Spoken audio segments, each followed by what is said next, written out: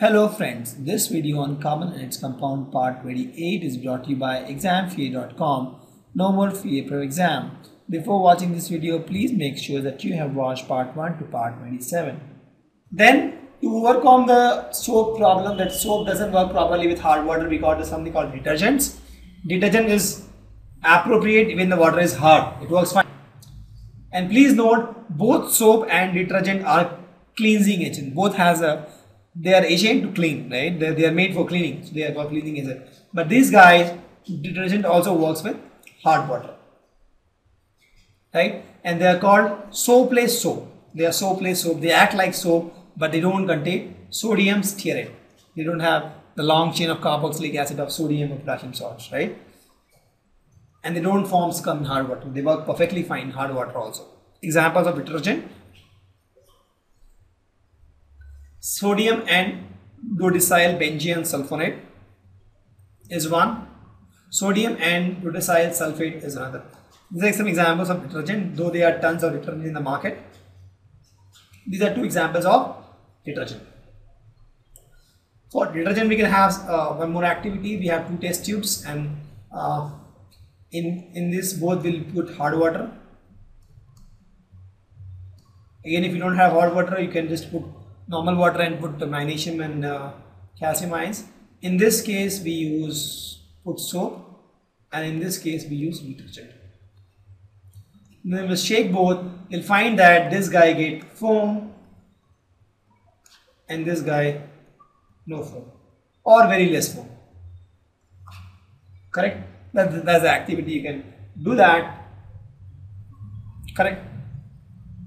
Now we have learned soap and detergent. Let's compare this soap and detergent. Soap is nothing but sodium or potassium salt of long chain of carboxylic acid. That's the chemical formula of this. And uh, detergent is sodium salt of long chain of benzene sulfonic acid. This is known as benzene sulfonic acid uh, or alkyl hydrogen sulfates. The ionic group is CONA here.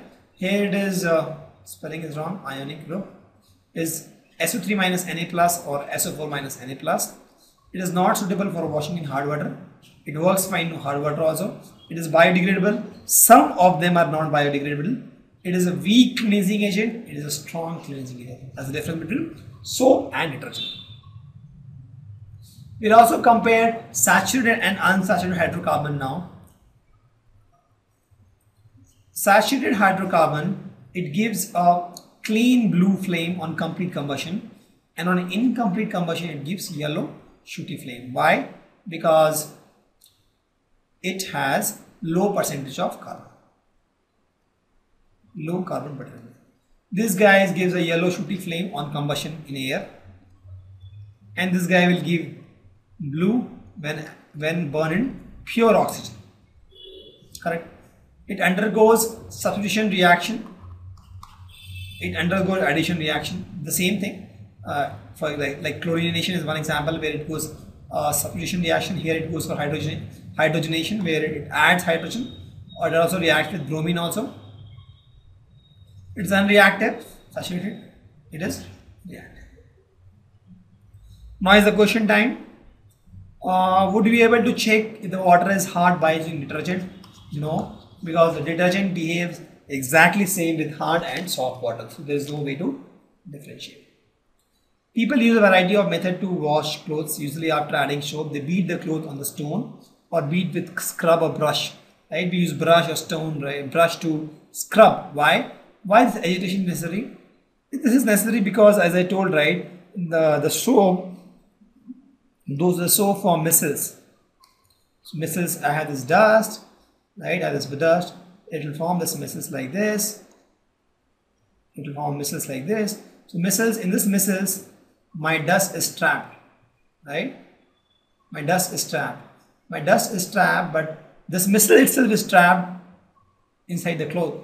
So to kick this out to kick the micelle out of the cloth we use uh, this guy. Brush or stone because this micelle is, is suspended as colloid in water inside the clothes, right? To remove this micelles, to remove micelles, we use we use brush or stones or something like this. Thank you. Visit examfear.com to watch free educational videos, try free online tests, get the best quality study materials, study from the best tutors and mentors, and much more.